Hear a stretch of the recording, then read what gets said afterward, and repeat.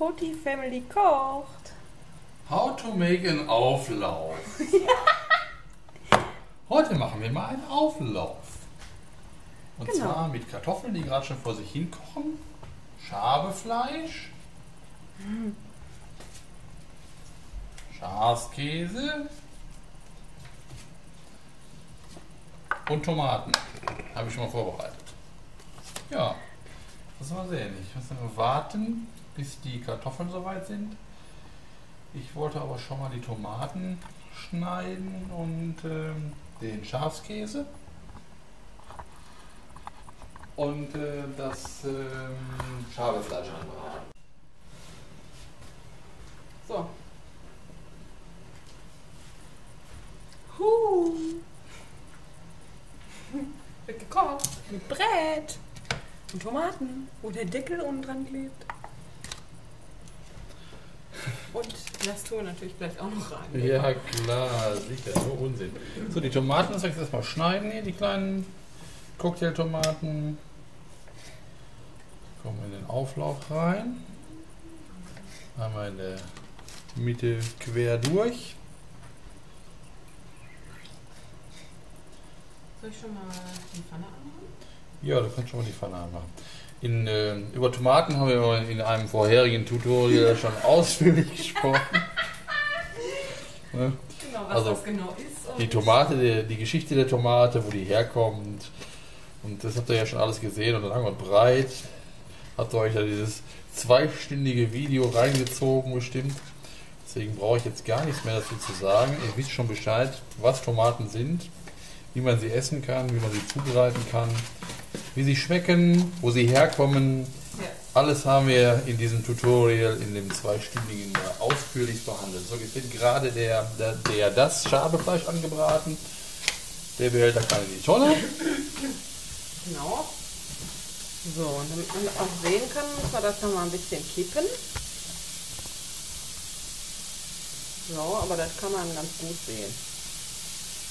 Ja. Ja, hast nochmal alles top Genau. eingerichtet. Was Schabefleisch ist, werden wir in einer der kommenden Tutorials mitteilen. Ja. Schabefleisch. Sehr mageres äh, Rindfleisch. Ich greife da jetzt schon mal auf ein noch kommendes Tutorial vor.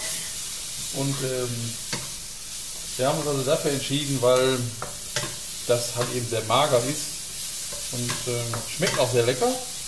Ist gar nicht mal viel teurer als normales ähm, Rinderhack und schmeckt eben viel, viel besser.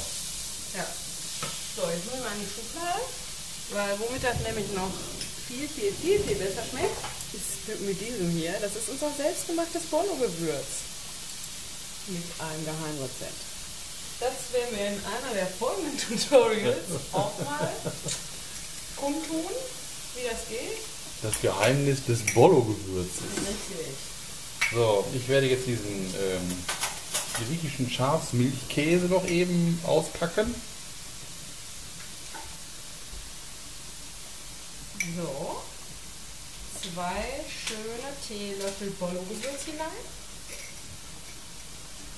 Und dann ist alles drin. Alles ist gewürzt. So, der Pathos ist schon aufgemacht. Ich brauche hier aber noch eine Schale, wo ich drin den drin rumbrösel. Kommt jetzt hier in die Schale rein. Zack. So, Wir machen übrigens heute ein Kartoffelexperiment. Wie koche ich die Kartoffel und kann die anschließend abhellen, ohne ein Messer zur Hilfe zu nehmen, sondern mit der bloßen Hand. Was, wenn es geklappt hat, wir in einer der folgenden Tutorials auch nochmal zeigen werden. Weil das ist hoch innovativ. So, hier kommt jetzt äh, eine ausführliche Vorführung, wie man den Schafskäse in einer Schüssel mit einer Gabel schön in kleine Bröckchen verteilt. Den werden wir dann später über den Auflauf drüber bröseln. Genau, für die ganz Faulen gibt es aber auch Patrock schon bereits in Würfel gebröckelt. Aus der Tüte. Genau. Ich Würfel gebröckelt. ist gut. Die Würfel gebröckelt. So. Schön alles hier klein machen. Alles gebröckelt, ja. Das riecht schon gut. Das riecht schon gut, ja. Ja, das Bollo-Gewürz ist absolut der Hit. Ja. Ist also so viele schöne Sachen drin. Einmal entsprechend vorbereitet. Eine entsprechende Menge, dann kann man da lange drauf zugreifen. Kaufen oder so. Also die Zutaten muss man schon kaufen, nur so in dem Zustand bekommt man es eben nicht. Das Bolo-Gewürz könnt ihr bei uns kaufen. Genau. Schreibt einfach eine PM. Ja. Stichwort Hashtag Bollo-Gewürz. Und äh, eure Adresse Genau. oder Telefonnummer und wir werden dann mit euch in Kontakt treten und alle weiteren Dinge besprechen. Jetzt müssen wir mal gucken, wie die Tomaten, die Tomaten, die Kartoffeln sind. Ja, die machen eigentlich einen ganz guten Eindruck. Schon relativ weich. So. Jetzt macht man den Wasserkocher an. Jetzt wird der Wasserkocher angemacht. Ja, weil wir brauchen noch ein bisschen Flüssigkeit. Und machen dann ein leckeres Döschen. Aber ein leckeres Söschen. Was hast du gemacht? Das ich ja schon Solidarität hier mitboosten. Ich habe die geheime Zutat eingeatmet. Ach so. Das darf man nicht. Das ist das, was wichtig ist.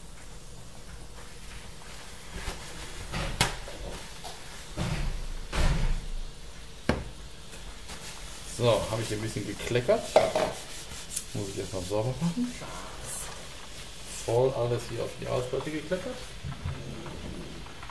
So. Ein bisschen Brühe. Klopp. Kann ja besser hier vorbereiten, ne? Kann man dann auch sehen. Ja, wir können die Tomaten auch mal auf Seite stellen. Ja. Die müssen wir jetzt hier Seite. Schafskäse auch auf Seite stellen. Und weil das Tutorial sehr kurz werden würde, zeige ich jetzt gleich hier an Ort und Stelle, wie man eine Brühe macht. Brühe. Eine absolut wichtige Zutat in jeder Küche. Sollte nicht fehlen, sehr schmackhaft und schnell zubereitet. Genau. Da natürlich nur Brühe in, die, in den Kartoffelauflauf kommt, werde ich die restlichen Zutaten mitführen.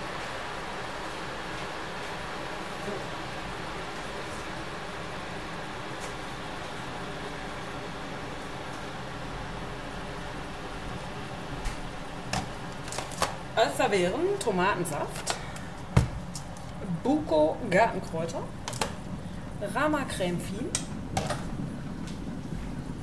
Ich werde in der Zwischenzeit mal den Backofen vorbereiten. und ein Himbeersmoothie. Ausräumen. Wie lecker.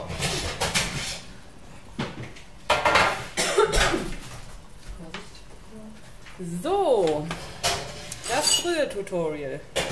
Also, wir machen den auch noch für zwei Tage und ich mache dann immer so Pi mal Daumen. Aber ich würde sagen, so 250 Milliliter heißes Wasser. Wie man am Dampf erkennen kann, sehr heiß. Genau. Man nehme einen Esslöffel, tauche in die Brühe und nehme erstmal so einen halben Esslöffel. Hinein damit, rühren. Deswegen ist das Wasser auch heiß, damit sich das schön auflöst. Und dann kann man das erstmal probieren.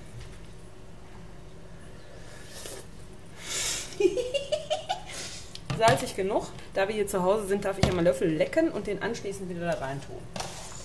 So, Jetzt würde ich sagen, kommt da erstmal ein bisschen Knoblauchpulver rein. Das habe ich ja gerade überschlagen. Äh, unterschlagen. Oh. Ja, genau. Das ist ja auch hochstaubig, dieses Ja, Knoblauchpulver. wir haben hochstaubiges Knoblauchpulver Da kann man bestimmt auch Explosionen mit erzeugen. ja. aus dem Asiamarkt. Ja. Das hat aber nicht der Chinese geschrieben. So. Jetzt brauche ich nochmal ein Messer. Milchfischkäse. So. Ungefähr, zack, drei Esslöffel Frischkäse. Oder sehen drei kann, Essmesser. das Löffel, Messer genommen. Genau. Und weil gerade da ist, kurz ran riechen. Riecht mal gut? Riech mal. Ich glaube schon, ne? Ja, ist in Ordnung. Ein bisschen Rama Creme hinein. So. Tomaten was schütteln. Damit die Stückchen vermischt werden. Und ein bisschen hinein. So, das heißt, man hat jetzt genug Flüssigkeit für den ganzen Auflauf. Wer ein bisschen dicker mag, kann ja noch ein Ei reinhauen. Dann stockt das Ganze. Wir mögen das nicht so. Das ist so glibberig dann. Deswegen bleibt das bei uns ganz Kartoffeln flüssig. Am nächsten Tag schmeckt der Auflauf übrigens viel geiler, weil die Kartoffeln die Soße aufgesogen haben. Kartoffeln sind fertig. Kartoffeln sind fertig. Okay, Kartoffeln tun wir jetzt in eine Schüssel mit kaltem Wasser. Also hol die von der Schüssel. So, Süßken nochmal probieren. Mhm, gut. Und dann können wir den Rest wieder wegräumen.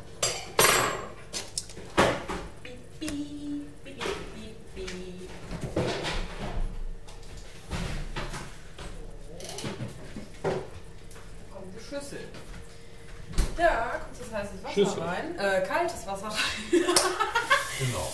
Wir machen halt Kippen wir einfach den Topf mit den restlichen Kartoffeln in, den, in die Plastikschüssel. Also voll abgießen, ne? Ja. Ich kann dir aber auch hier mit dem. Du stellst mir die Schüssel hin. Dann So. können wir das auch zeigen. Schüssel mit kaltem Wasser, die Brühe kommt mal weg. Genau. Und dann werde ich die Kartoffeln mit einem Schopf, Schöpflöffel hier hinein tun. Jetzt werden die abgeschreckt, sozusagen, die Kartoffeln. Und dann hoffen wir, dass wir diesen geilen Kartoffelschäl-Trick damit machen. Ja. Das ist jetzt auch Premiere hier. Manche Kartoffeln schwimmen und manche nicht. Ja, das wie mit Eiern, weißt du, die sind dann schon ein bisschen Die sind schlecht, älter. Ja, genau, sind dann Die schlecht. sind schon schlecht. Ja. So, jetzt nehme ich mir mal ein Tüchlein, um das auszuprobieren, ob das auch funktioniert. Ich habe die mittig eingeschnitten.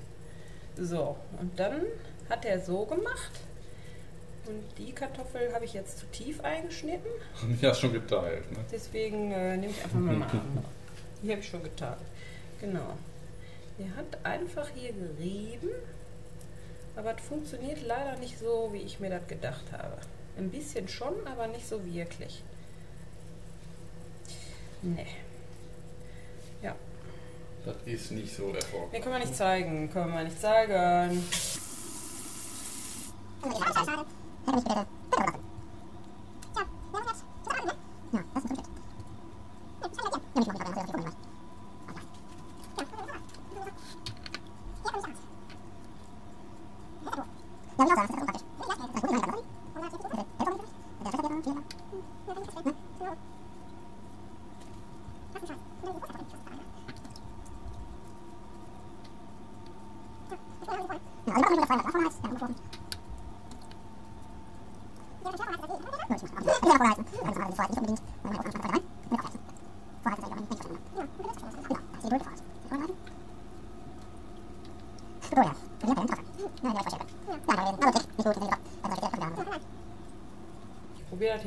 einer aus. Die anderen haben wir dann schon geschnitten und die eine bleibt ungepellt dabei. Ja, das ist vielleicht eine ganz gute Idee. Und dann kann man das nochmal ausprobieren.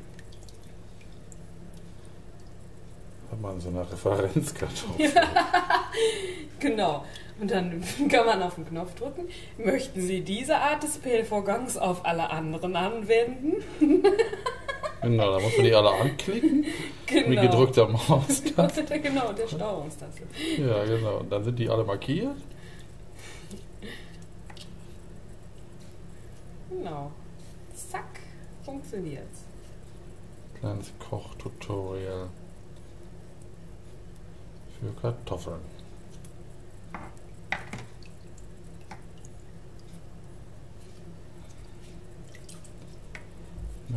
Jetzt langsam dem Ende hier. Dieser Fummelarbeit. Also der einzige Vorteil von dem kalten Wasser ist, die Kartoffeln sind nicht mehr Ja, heiß. das ist echt gut. Ansonsten verbrennt man sich ja sofort die Finger an den Dingen. Ja, und früher habe ich auch mal gehört, dass es schwieriger wird. Man darf die gar nicht so lange abstrecken. Das stimmt überhaupt nicht. Also, Mythos, schrecke die Kartoffeln nur kurz ab, weil der Pellvorgang dann schwieriger wird. Aufgelöst, gibt es nicht. Genau. Man kann die Kartoffeln auch wahrscheinlich bis morgen in dem Wasser lassen und dann ganz bequem pellen. Ja, das können wir ja mal in einem ähm, Experimentvorgang machen. Da Kartoffeln, Referenzkartoffeln. die wir über Nacht in dem Wasser liegen lassen und gucken, wie man die morgens dann pellen kann. Kommen wir vor wie bei den Mythbusters hier in der Küche.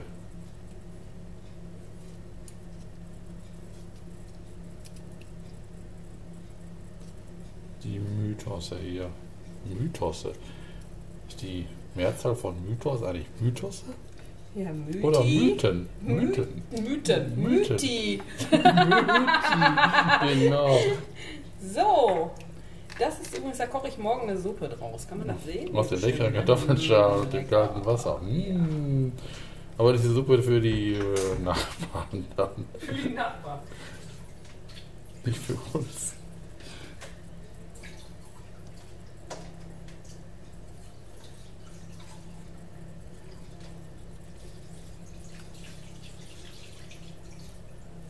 Dieser Kartoffel ist gleich nicht mehr viel über. Die ist so klein, die kann ich mit meinen Händen kaum halten. Das hier ist eine Schale dran. Ja, diese tollen Kartoffelpieker, ne? Diese dreizackigen. Ja, die haben wir auch in der Schublade, so ist das nicht. Kartoffeldreizack sozusagen. Haben sie was auch. Ich finde halt immer blöd, das Ding. Da bricht immer die Kartoffel dran ab. Ja, wenn die zu weich ist. Die darf natürlich nicht so weich gekocht werden.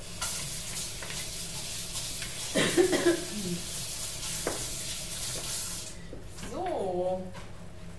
Pellvorgang abgeschlossen. Schickt.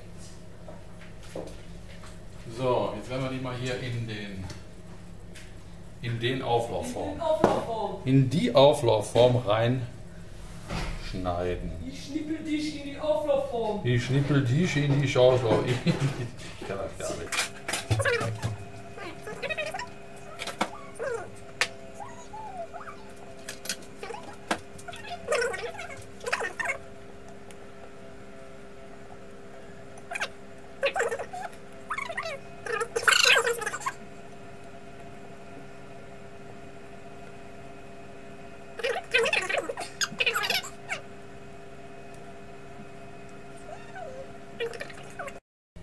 Ich schon gesagt, dass der für eine Woche ist. Das sicher. In drei Tagen. Nein, ich kann keine Kartoffeln mehr sehen.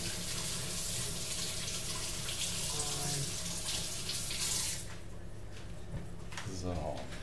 Fertig. Fertig. Fingerchen mal im Pulver geben? Genau, ich schmeiß mal die Knädchen rein. Also für die Zwanghaften können die natürlich da irgendwie hinlegen, so oder kleine Figürchen basteln oder was auch immer. Wir kippen einfach alles drauf. Hackmasse hier, schön Bolo-Gewürz gewürzt. Das waren übrigens jetzt gerade 270 Gramm Schabefleisch. Ja, ganz wichtig für zwei Tage und zwei Personen. So, Alles schön vermengen. genau. So. Zack. Gebröselter Schafskäse. Genau.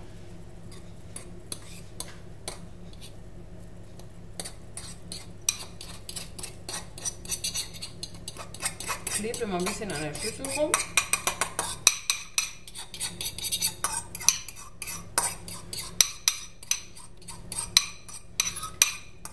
Dann liegt an dem Klebereiweiß im Schafskäse. So, den kann man einfach oben drauf lassen. Ein bisschen da reindrücken. Aber der macht halt nachher die schöne Kruste.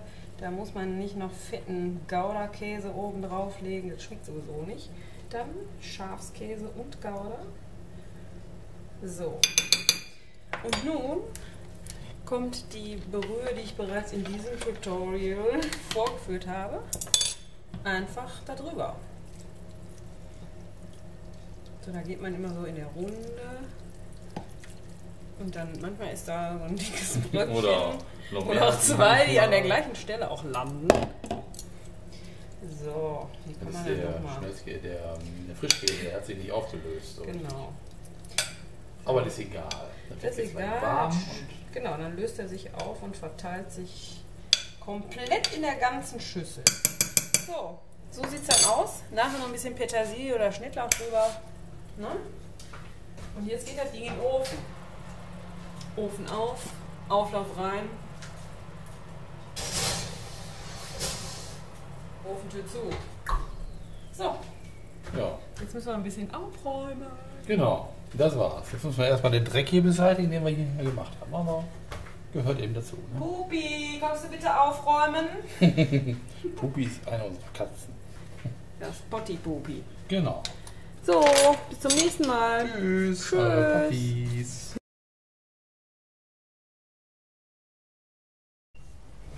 So, Auflauf fertig. So sieht das aus, wenn man das schon aus der Auflaufform auf die Teller gemacht hat. Lecker, ne? Mmh. So, und was machen wir jetzt damit? Wir essen das jetzt auf und lassen uns das schmecken. Guten Ja, Appetit. Guten Hunger.